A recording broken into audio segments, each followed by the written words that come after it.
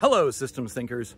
So this is a, uh, it's a philosophy, an opinion, a belief, a debate um, that I have had for many, many years, both internally with myself as well as externally. And that is the primacy of math. So a lot of my physicist friends are saying, uh, they say stuff like, you know, the universe is math. Math is the language of the universe. Um, and in fact, there are theories that say uh, explicitly maybe the universe is literally made of math. Maybe the fundamental substrate of the universe is math. If we're, if, uh, if we're in a simulation world, if simulation hypothesis is true, then yes, the fundamental operating system of the universe is probably written in math. Um, now, that's only one hypothesis, one theory. Another thing, and I haven't been able to reconcile this, by the way. So anyone who tells you that it is definitively one way or another, they're wrong because we don't know.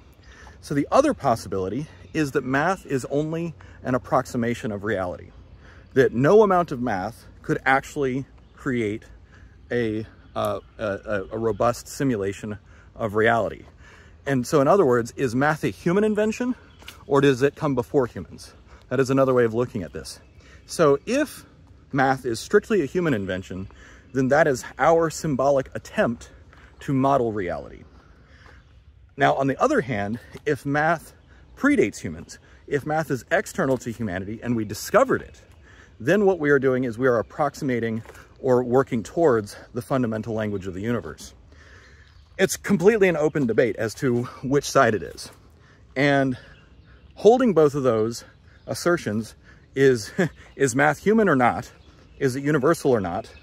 Like that is, a, that is basically like the debate of the century of the millennia and here's the thing that's really aggravating. We might never know. Depending on the context or the characteristics of the ontological container we're in, it might literally be impossible for us to discern one way or another. It depends on the nature of the system. So what I mean by ontological container, um, simulation hypothesis is an example of one kind of ontological container. That basically says we are in a simulation. Another ontological container comes from Hinduism, where everything that you see, hear, and feel is the content of a dreaming god or made of Brahman or whatever. And so there's all kinds of theories about what is our ontological container? What is the superset? What is the entire size, shape, scope, and dimensions of existence, of reality? So uh, if you look at it through dualism, materialism, monism, uh, panpsychism, those are all ways of describing the ontological container, but those are not necessarily types of ontological containers. And so basically, the question is, how does math relate to our ontological container? And as a systems thinker, we have to understand that there are different models, different theories, and different ways of characterizing our ontological container. So this is, you're probably also like, wow, Dave, systems thinking is super philosophical. So I mean, yeah, it is. If you, once you get really to the bottom of it, and this is not to say that math is um, invalid.